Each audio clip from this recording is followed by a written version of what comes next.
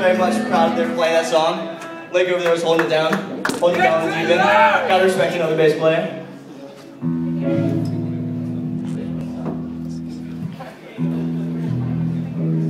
Alright, this next one, um, this one is one I wrote this summer as well. We played it in the spring, and everybody seemed like it. This is also our last song tonight, um, so we want to thank you guys for coming out. We're the new normal. Um, be looking for us around campus. So it's called Soldier.